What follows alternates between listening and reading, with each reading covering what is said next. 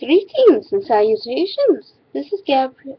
This is um Eveleen O'Malley, Lady of the Realm. Sorry, I almost said my real name there. I can hear it. Uh-uh.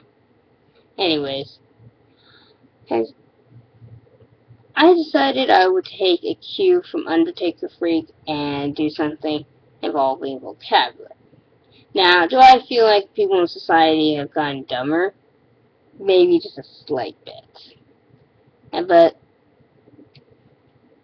I decided instead of continue to uh, rant and rave, I'm gonna do something that's gonna be kind of cool and more educational. But as you know, yes, I support education. No, I don't like school. But like I said in that particular video, even though I didn't like school, I did my best.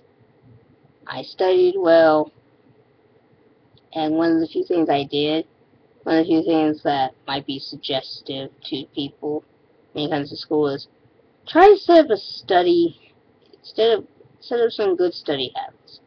You know, maybe I hate to mess up your summers, because you should enjoy your summer off, but they're right. You do tend to forget things over time, and it's just best to keep your mind going. I mean, I know we're 16. You're 16. You're 13. You're six years old. What do I have to worry about when it comes to school? I mean, the point is to forget those problems during summer. And you know something? You're right. You're absolutely right. You're supposed to forget school.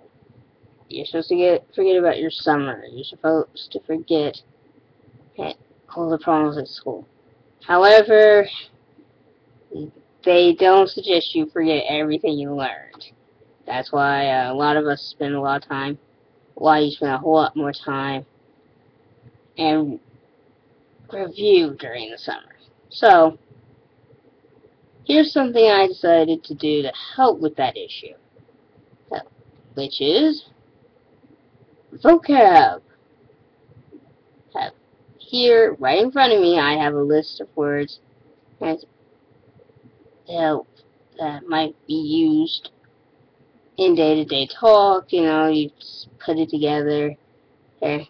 And I basically made a list of these words on studyblue.com uh, and where they allow you to make flashcards and all these vocabulary so you can learn to study on the go wherever you are no matter what you're doing. You can download the app and put it on your phone. So there you go. Perfect way to study. Okay. I know. Try to find ways to destroy that whole freedom concept, don't they? Okay. But anyways, one of the first few words I wish to impart upon you is a word that you should become you are common with in your day-to-day -day view television viewing? Life lifetime. Or just life in general. And that word is tokenism. The definition of this word is a policy or practice of limited inclusion or artistic and or political representation of members of a traditionally marginalized group, usually creating a false appearance of inclusion inclusive practices rather than discrimination intentional intentional or not. So whenever you're watching a show like okay, let's say you're watching Dexter. And I don't think Dexter's really this kind of show, but we'll just use this as an example and they have the token black guy. You know, the this character basically he is basically the result of what tokenism is. Because you could say a show uses tokenism, meaning it uses a black guy who has no absolutely nothing to the plot other than he or she is just there. Or token girl. She or he just happens to be there. And but has no bearing on the plot whatsoever. Okay? That's what they what happens when you use that kind of tokenism. It just makes it look more diverse. Yes, but it really doesn't do anything for it. Next word. And this word is a word I like to describe myself with. Or I've had other people use to describe me. Just a different word. And it's called randiloquent. It means flamboyant. And if you don't know what flamboyant means, it basically is someone with a colorful attitude or behavior. I'll look it up for you. It's not that hard to spell. I have forgotten multiple times what the word means, so. Okay. Yep. Strikingly bold or brilliant, showy, flamboyant colors. anyway, and then next. Basically, you can say that person is very randiloquent. Or, when it comes to his vocabulary, that person is very randiloquent. I'm not sure that's quite how to use it, but yeah, just examples. Okay, now this one is the word dilatory, meaning tending, it's used as an adjective, tending to, tending to delay, procrastinate, postpone. And basically we'll say, Frank was very dilatory to his mother when they went shopping while he knocked over all the stuff in the way, or when your mother and father are basically saying, hey, stop being dilatory. Basically, when you're, when you're trudging to the mall, or to Walmart, to the aisles at Walmart, and dreading the day of going back to school. Hmm. Okay. Those are the best examples I come with. I should have wrote them down, but hey. Okay. Now, next thing will be manifold, which is having many ways and various forms or parts. So, the girl has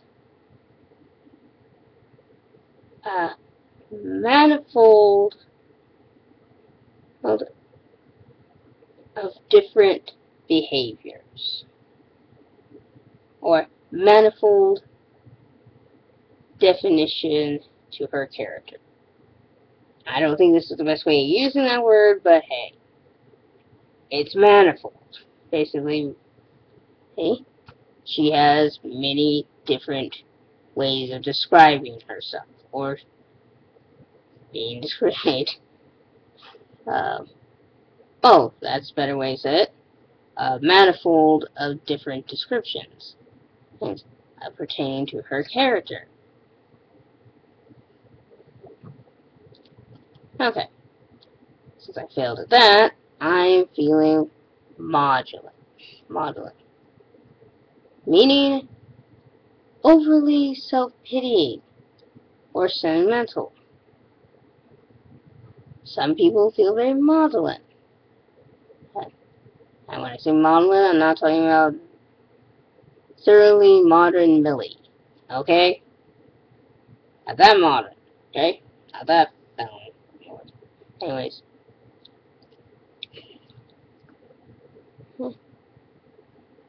And then I'll use one more to grow on.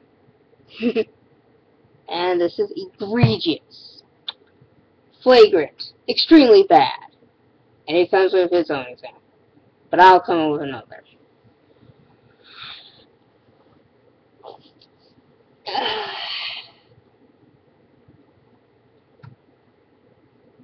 breaking when I broke the law, I was egregious.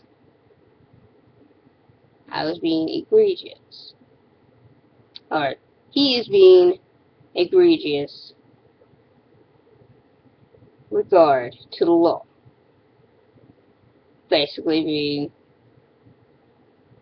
I'm being very bad in the letter to the law.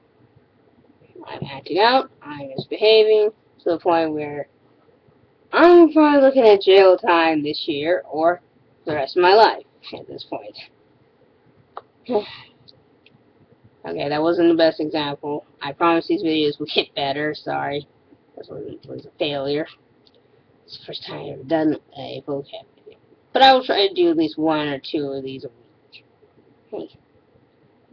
Hey, depending on what words I have. Anyways, this is Eveleen O'Malley telling you to follow her on her Tumblr, Twitter, and, and check out her fan fiction. And new bit of stuff should came out pretty soon, and I'm looking for people to critique to see if anyone likes them or not. Anyways, have a great night, and thank you for watching please click subscribe button down down below and have a great